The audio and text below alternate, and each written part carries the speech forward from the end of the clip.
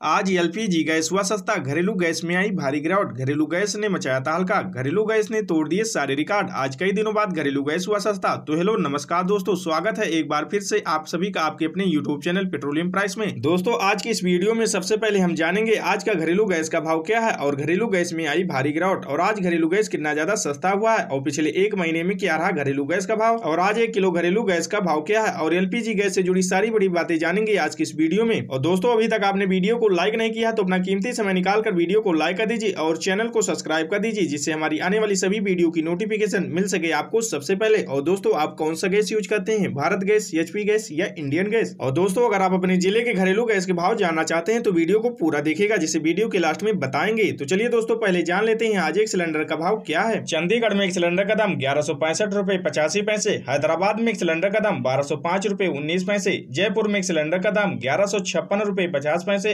लखनऊ में एक सिलेंडर का दाम ग्यारह सौ नब्बे रूपए चौतीस पैसे है। नागपुर में एक सिलेंडर का दाम ग्यारह सौ पंचानबे रूपए चौवालीस पैसे। कटिहार में एक सिलेंडर का दाम बारह सौ छप्पन रूपए पैंसठ पैसे। वलसाद ज़िले में एक सिलेंडर का दाम बारह सौ चौदह रूपए इक्यानवे पैसे। हिसार में एक सिलेंडर का दाम ग्यारह सौ तिरपन रूपए पैंसठ पैसे। मोरबी में एक सिलेंडर का दाम ग्यारह सौ तिरसठ रूपए उन्नीस पैसे। अम्बाला में एक सिलेंडर का दाम ग्यारह सौ सत्तर रूपए उनसठ पैसे। सिरमौर में एक सिलेंडर का दाम बारह सौ एक रूपए तिरसठ पैसे।